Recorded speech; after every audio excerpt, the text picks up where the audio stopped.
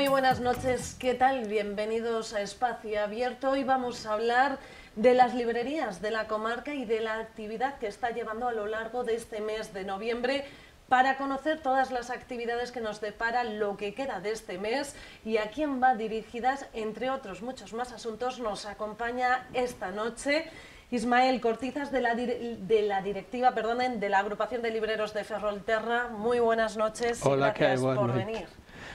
Bueno, se presenta un mes de noviembre, ya estamos casi a mitad de él, pero bueno, aún hay muchas actividades que desde la agrupación de libreros de Ferrolterra van a llevar a cabo a lo largo de este mes de noviembre. ¿Cómo ha surgido? Sí, bueno, eh, desde a directiva da agrupación de libreiros de Ferrolterra plantexamos re, eh, revitalizar un pouco todos os as actividades culturais, non? en Ferrol e sobre todo nas librerías. Eh, a nosa campaña, xa outros anos fixemos a campaña de merca nas librerías do teu barrio porque estamos, estamos eh, a nosa promoción das librerías de proximidade, eh, da librería de barrio, que eh, xa non só é un comercio en sí, un comercio pequeno, como calquera comercio pequeno, sino que é un centro de actividade cultural Entón pretendemos que non morra o comercio de proximidade, que non morra o comercio pequeno e pretendemos, eh, no noso caso, poñer un graiño de area para, que, para eso. Entón, na directiva plantexamos este ano, o ano pasado simplemente fixemos bolsas de tela, bolsas de papel para para eh, dar eh, un, un paso adiante en, en eliminar as bolsas de plástico, tamén, tamén o ano pasado surdira o do volcán, de entón eh, fixemos un día na que todos os libreiros asociados aportamos un 5% das nosas ventas e o donamos en axuda aos danificados do, do volcán.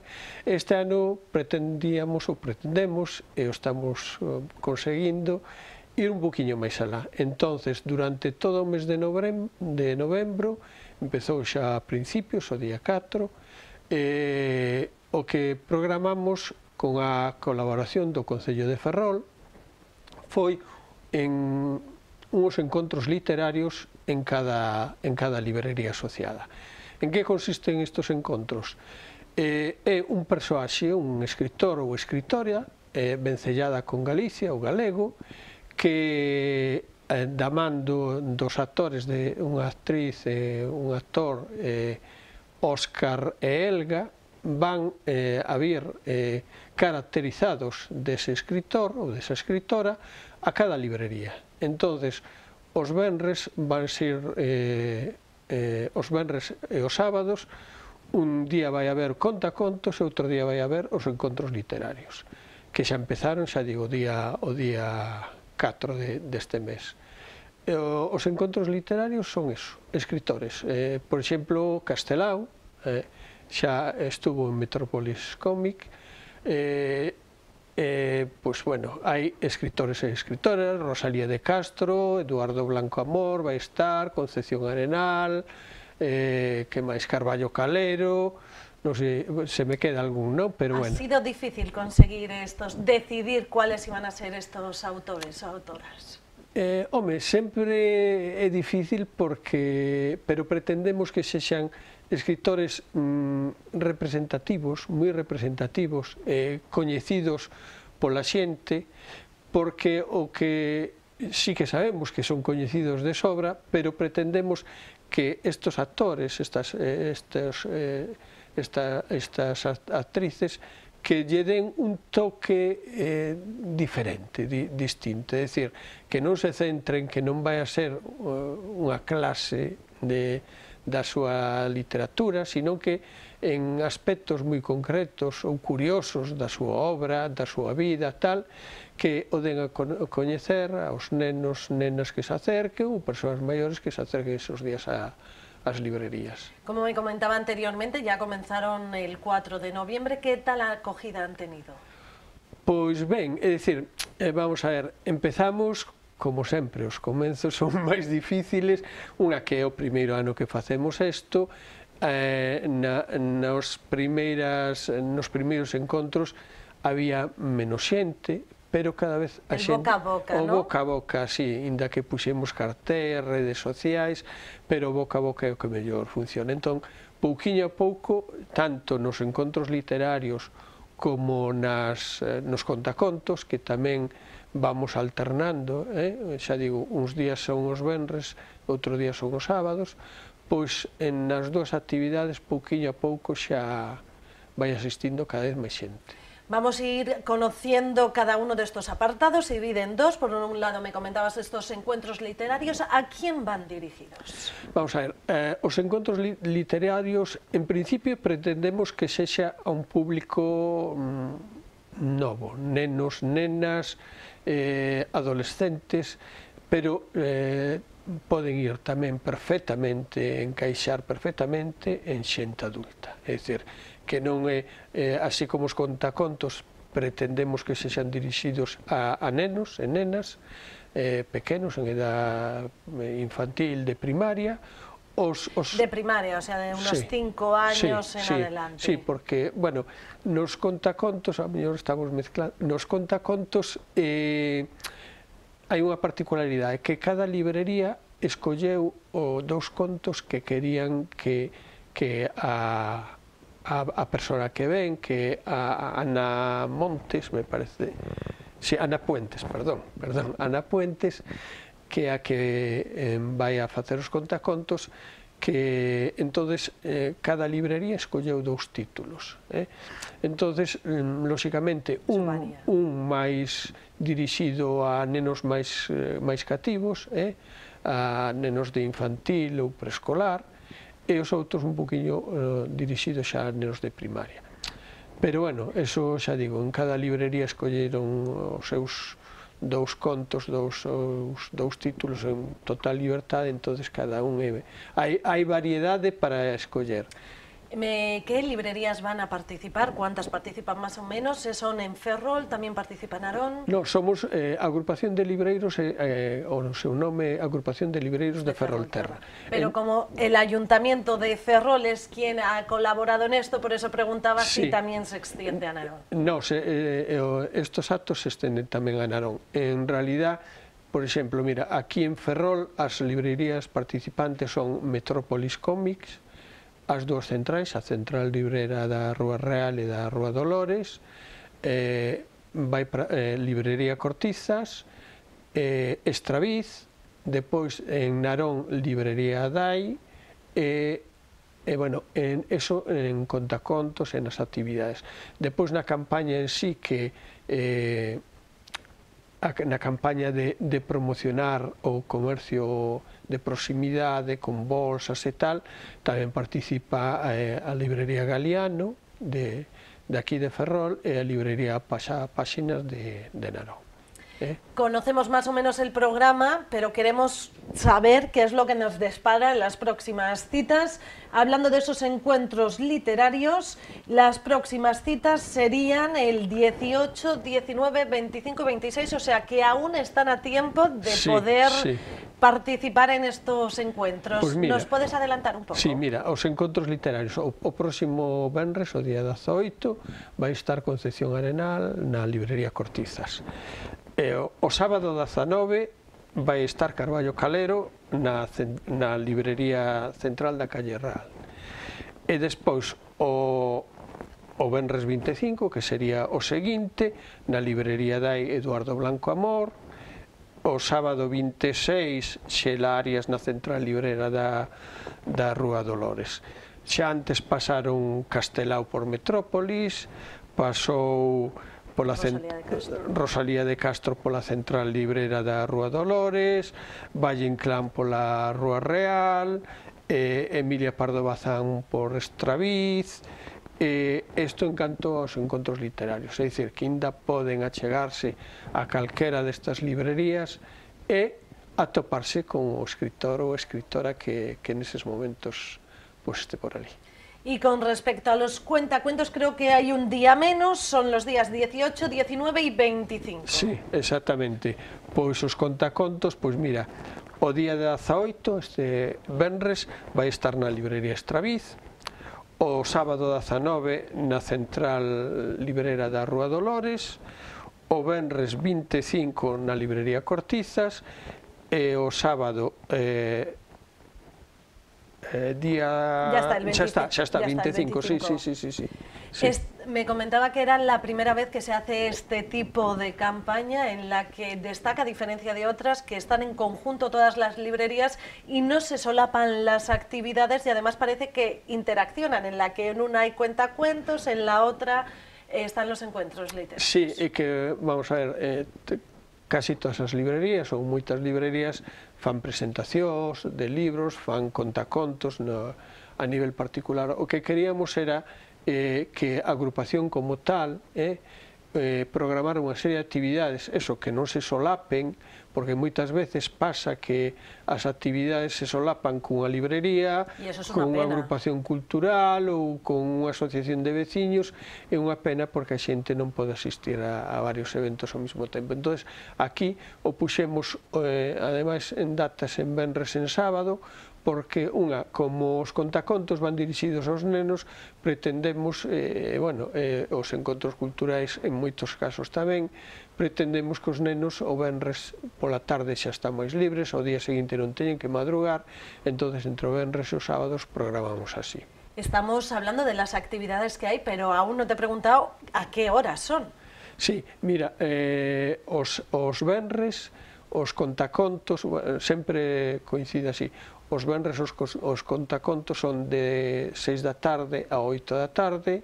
Ah, pois pues son sí, sí, unha buena Sí, porque eh, son, son, son dous contos, non? E eh, os encontros culturais eh, creo que son as 19 horas. Vamos a ver... Sí, as, de, as 18 horas tamén. E depois os sábados, pois de 11 e media a, a 1 e media. Uh -huh. eh? Entonces tenemos actividades todo el mes de noviembre. Para todas estas que nos has comentado, ¿dónde pueden seguir o seguir ese programa? Porque al, tal vez ahora mismo te están escuchando, pero mañana se les ha olvidado dónde pueden ir, dónde pueden conseguir toda esa información. Bueno, no Facebook da, da agrupación de libreiros de Ferrolterra está anunciado, no, nas redes sociais de todas as librerías, e, E, bueno, en cada librería, no exterior eh, e no interior están os cartéis anunciados en moitos colexios tamén, eh, en algúns colexios tamén, entonces eh, xa digo, nas redes sociais hoxe en día que todos todos andamos con, con eso, pois pois aí poden. Me comentaba que es la primera edición, pero visto la trascendencia que está teniendo, la idea es que continúe y perdure. Sí, dende logo que sí de logo que si, si isto resulta, eu creo que está resultando moi ben, pois pretendemos que nos seguintes anos haxa eh, non só estes actos, sino a, algunhas, algunhas cousiñas máis que, que xa estamos maquinando. O sea, que se presenta un 2023 con muchas actividades desde el campo literario. Sí, sí, desde, desde logo que sí. Bueno, as librerías, a verdad que nunca estamos quietas, non? O que pasa que as limitacións de cada librería a nivel particular pois marcan un pouco as actividades en sí.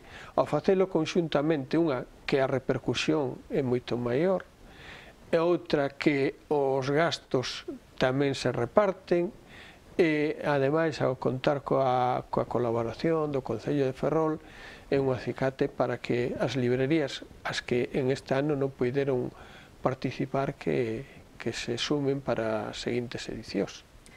Con respecto al sector de las librerías a día de hoy, ¿cómo se encuentra? Parece que hemos pasado una crisis sanitaria que ha sido un mazazo para todos los sectores.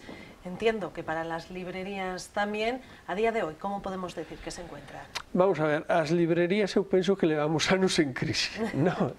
Eh, Bueno, depois- parece Esa crisis sí. primera de esa combatir con la edición digital, entiendo, parece que ya está un pouco superada. Sí, bueno, eu, a, a edición, a edición os libros digitais en realidad tampouco non supoñen tanto, é dicir, non supoñen eh, si ti mm, falas coas editoriais, coas editoras, é un 5% de, de, Solo? de publicación sí, en edicións digitais. Que pasa? que aquí eh, o comercio pequeno, xa non só as librerías, temos que loitar co, cos grandes empresas multinacionais ou gra, grandes holdings que sí que nos están facendo dano non só, non só digo, as librerías, sino ao comercio en xeral. Eso sí que influeu e influe, influe moitísimo nas librerías. Por iso pretendemos que as librerías que son un, un comercio que, que dá vida ao povo, que, que dá vida á cidade, que, se, que son un centro de, de proximidade, eh, que os, os, os nenos en edad escolar xa simplemente eh, pois van a, a, a mercar os seus libros de, de lectura recomendada e tal, e pretendemos que sexan algo máis. Por eso, eh, loitamos na medida do, do posible para que a xente se acerca ás librerías, se eh, acérquese ao, ao comercio pequeno, para eh, seguir dando vida á cidade, porque senón... Aparte de esa actividad que se ofrecen desde las librerías locales, ¿por qué debemos ir a una librería local y qué se diferencia de estas grandes o por internet de poderlo coger? Vamos a ver, eh, en, mira, eh, a, a xente moitas veces pide por internet, porque di oh, son os precios máis baratos, o teño na casa, todos, todos os, os, os precios dos libros é, é un precio fixo. Por lei só se pode facer un 5% de desconto nos libros, salvo datas determinadas, como foi o Día das Librerías, como é o Día do Libro, ou nas feiras do libro non de, de Galicia. Entón, a, a cantidade, o 5% non supón casi nada nun, nun libro de 20 euros, 25, tal. E ao mesmo tempo temos que darnos conta que, que estamos dando vida ao comercio, aos nosos veciños, eh, porque eu sempre digo, vamos a ver, eu se vou mercar a carnicería do barrio, non? Eu estou aí en Recimil, vou mercar a carnicería do barrio, vou mercar a, a peixería do barrio, a froitería do barrio, eu eh, esos, esos clientes eh, eu actúo como cliente pero eles van a ser clientes meus porque de feito intercambiamos. Me digo, ah, pois tráeme este libro. Entonces estamos intercambiando actividade estamos eh, non empobrecendo a, ao comercio, eh, e estamos dando vida á cidade. entonces por eso hai que pensar que os cartos non poden escapar para fora. É dicir, se os cartos se manteñen na cidade, se, se damos vida aos comercios, ás librerías de barrio, aparte de que as librerías de barrio tes un, unha, un acicate que é a proximidade. É dicir, aquí eh, todos, en todas as librerías, temos clientes asiduos que che veñen, que che, que che piden a túa opinión, o teu consello, que eso non o poden pedir a través dun ordenador. Poden, poden ver a sinosis do libro, pero nada máis, é dicir, eh, en as cabeceiras desas desas páxinas ou, ou desas plataformas van estar os libros máis vendidos ou os que máis publicidade teñen tal. Aquí nas librerías temos libros de escritores e de escritoras locais, temos libros eh, en galego que en moitos casos nas librerías, nas difícil. plataformas é moito máis difícil, eh? Entón estamos promocionando a nosa lingua, estamos promocionando a vida na, na cidade, estamos eh, promocionando o comercio en sí, en xeral, e ao mesmo tempo estamos eh, aconsellando e non ao mesmo tempo a falar cos clientes, porque a min en moitos casos me digo, se coñeces este libro, todos non os podes ler, non? Pero che, che tenta seguridade, e che di un cliente, oi, pois leín este, está moi ben e tal, a ver se si o traes, entonces o pides, o lees, e, e entonces hai un trasvase cultural que, que non se dá na, nas plataformas. Con respecto al tipo de consumo que se encuentra aquí en la ciudad, ¿se nota gente joven que va a las librerías? ¿Ha mermado, ha aumentado, continúa o el hecho de los videojuegos, lo digital y todo hace Vamos a ver, eh, a realidade que eh, a xente a xente le, le, le pouco, no? Entonces, eh, a cidade tamén está está, nun, está sufrindo unha crise grande, non? A parte da crise que pasamos do, do coronavirus e tal, unha crisis económica grande e unha alza de precios desorbitada en todos os, en todos os aspectos, eso notase no consumo, lóxicamente. Pero, aparte, eu noto que, que tamén que os clientes, eh, a mocedade, cada vez pasa menos polas librerías, é dicir, pasa hasta certa idade, eh, nenos de 3, 4, hasta 12 anos, 13, pero despois esos clientes moitas veces pérdense. Pérdense porque as redes sociais, os ordenadores, os teléfonos, internet, eh, vannos sacando, vannos sacando clientes e vannos sacando xente da lectura, da cultura en sí. Eh?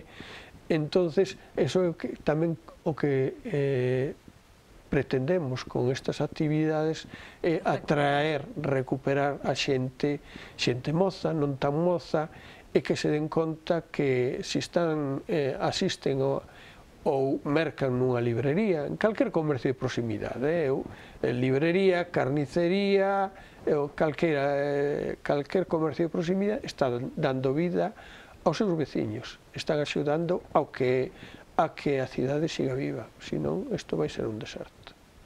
Totalmente, hemos visto en otras ocasiones a otros comerciantes que han venido aquí, de otros sectores, el textil, por ejemplo, les preguntaba cómo les había afectado la pandemia y decían que hay que renovarse o morir sí. en algunos aspectos, recalcaban la importancia que habían tenido en las ventas online, desde las librerías locales, también ha sido un revulsivo este tipo de venta.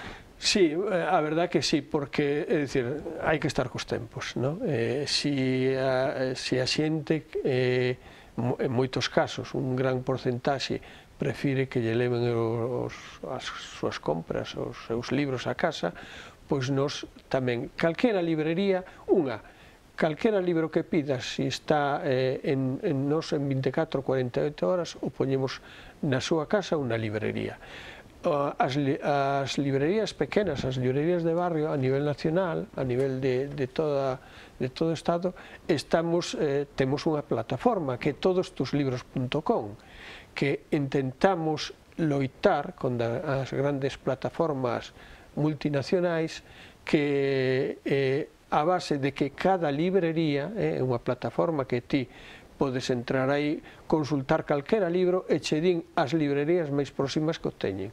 Que o teñen que o poden ter, simplemente hai unha pasarela de pago, podes pagalo ou simplemente podes reservalo para ir a recoller na librería. Entón, eh, todos esos servicios que a xente moitas veces non sabe, os estamos dando as librerías, as librerías pequenas, as librerías de barra. Seguimos hablando del consumo. ¿Ha variado el tipo de género, de, de tipo de libro que el consumidor va a comprar con respecto a la pandemia? Bueno, sí, o, o, o género en sí, eu creo que tamén vai por modas, non? É dicir, houve unha época non moi lonxana que a novela histórica era todo, todo novela histórica, ora levamos unha época con novela negra, thriller e tal, e hai, houve tamén outra época eh, na que a xente moza ou tal pois eh, leía moito prosa poética, poesía, non? Yo creo que los jóvenes hoy en sí. día están con esto de Juego de Tronos también en la literatura, todo lo que tenga que ver con este mundo fantástico. Eh, o, hoxe en día a xente nova a partir de oito anos, eh, sete, sete anos incluso, eh, rapaces que ves que... De, eh, que che veña a, veñen en concreto por un libro, ¿no? Porque os grandes youtubers ou os youtubers están arrasando. Entonces, eh, eh, como os nenos e eh, os maiores andan cos teléfonos, con tal, os youtubers estos que publicaron libros Esos son los son os que están mandando a nivel de a nivel de Esto pode preocupar un pouco que sí, el youtuber muy, anuncia un libro e sea ese tipo Por, de libro, ese tipo e de que ademais xa non é só o tipo, porque eu digo, bueno, on, os nenos ou as nenas que lean é importante, que lean o que sexa, que lean. E despois xa eles irán escollendo, eh, según pasen os anos, según a súa experiencia de lectora, irán escollendo os xéneros que lle guste, o libro que lle guste. E moitas veces veñen nais ou pais ali e me di, ah, voulle levar este libro porque non lle gusta nada ler. Digo, mira, non esforces, porque é que ainda non atopou o libro que, que lle gustara. No momento en que lle guste un libro, eh, o neno ou a nena van a empezar a ler porque lle vai enganchar, a lectura engancha, Exacto. engancha a todo o mundo. entonces agora está pasando un fenómeno curioso co, cos youtubers, eso. Es decir, porque me veñen nenos ou nenas a librería... es que, que a mí isto me, me sí, choca. Sí, sí, sí, eh, eh, eh, que sacaron un libro de, de youtubers que ademais ten un montón de letra e diste, pero, pero ti vas a ler eso E a nai di, no, no, si non o vai a ler, xa. E digo, pero é que leva outro libro máis adecuado, porque non o vas a ler, ten moita letra, estás casi aprendendo a ler, eh? seis, sete anos, é dicir, inda che vai costar traballo, letra, pero, non, non, quero ese, quero ese, quero ese. Pero bueno, é unha forma de... De, de incentivar la de lectura, oye. Eh, Ahora tendrá que, que aparecer sí. de todo tipo de youtubers o, o los libreros tamén sí, meterse aí. É unha moda, eu creo que efímera, é dicir, que vai pasar, como pasaron outras, pero o importante que, eu digo que o importante é que a xente lea, que cada un escolla o seu xénero, o ensaio, o divulgación, ou, ou novela negra, histórica, o que sexa, o romántica, o que sexa, pero que lea. ¿Se presenta la campaña navideña bien para el sector local, para las librerías locales? ¿Sigue siendo el libro un buen regalo? Sí, a verdad que sí, a verdad que sí, que é dicir, ainda en épocas que a crisis ou, ou a nivel de, de, de consumo estaba baixo, o libro é un agasallo moi, moi socorrido. Pero yo creo que tal vez, perdona, ahora que hablábamos de la pandemia, a lo mejor Eh, que vivimos en un mundo en el que no tenemos tiempo durante esta pandemia paralizados en casa, ¿no se aumentó el número de, de, de, de lectores o de sí, compra sí, de libros? Sí, sí, hubo, hubo eh, dende a pandemia, eh, claro, no momento da pandemia eh, as librerías pechamos, salvo as librerías que tiñan papelería ou tiñan prensa, pechouse. Entonces, eh, aí sí que empezou a funcionar en nas librerías pequenas a venta a través de, de, de internet, a venta online. E depois a xente, claro, non vas a pasar 10 horas vendo a tele ou vendo series ou o que sei, e a xente sí que se, se arrimou un pouco a lectura. E houve unha, unha, eh, nesa época e os tres meses seguintes que sí que se notou que o hábito de ler eh, fora collendo pouquinho a pouco o, moita xente. No? pero despois, de nuevo, despois a normalidade, os a, a ansia de sair, de non sei que, tomar os vinos, de, entonces eso eh, foi, eh, Volvió subimos e volveu a baixar. Te había cortado, perdóname, estabas sí. comentando lo de la campaña navideña. ¿eh? Sí, eh, bueno, xa o ano pasado eh, a campaña navideña, verdad que foi ben, con o handicap ese de que, bueno, o consumo non, non hai moito carto na xente, entonces tampouco non, o consumo non, non pretendemos que sexan grandes campañas, pero sí que o libro é moi socorrido. O ano pasado xa nas librerías eh, asociadas da, da agrupación de libreiros tamén eh, fixemos uns sorteos que vamos repetir este ano. Vamos regalar con cada eh, compra de libros unhos, unhos vales para que eh, de, creo que son 50 euros cada, cada vai haber seis sorteos, que, que se van repartir con, con cada compra e que se van sortear para que a xente, pois, si tenga sorte de que lle toque, pois poda seguir mercando máis libros. Cando va a comenzar esta campaña? Esa campaña vai empezar agora a principios de Nadal, xa de diciembre. Mm, eh? o sea, eh? é dicir, nada. sí, empezaremos a repartir as bolsas, empezaremos a repartir as rifas e despois os sorteos eh, vanse celebrar a, a, en Reis, despois eh, na, próximos a Reis ou, ou a día seguinte e depois a xente pode se, eh, intercambiar ou cambiar os vales esos. Esto ya cambiamos totalmente de hablar de la agrupación de libros. Tenemos que terminar esta entrevista, pero teniéndote aquí un experto de los libros, teniendo bueno. Eh, tenemos que terminar este espacio abierto pidiéndonos que nos digas cuál es tu libro de mesilla o cuál nos recomendarías. Bueno, o meu libro de mesilla... Eh, eh, es, es la tantos, macro mesilla. Eh, eu, houve alguna época que le, le, leía dous ao mesmo tempo, ¿no? Ahora mismo, pois pues mira, ahora eh, me estou poñendo a día eh, de cara a campaña de Navidad, non? Eh, nas novidades, sempre intentas ler novidades, eh, non quero dar títulos porque, bueno, ahora hai moitas novedades en, en novela histórica, en thriller, en, en galego están salindo moi bons libros, entonces calquera libro... ¿Cuál es un acierto seguro? ¿Quieres hacer un regalo? Un libro, aciertas. ¿Cuál nos orientarías? ¿Tipo novela histórica, thriller? ¿Con Home, cuál acertaríamos? Es verdad que depende cada persona, Claro, es que- un mundo, eh, que pero ¿con sí. qué se suele acertar más? Oriéntanos un poco que llegan las navidades.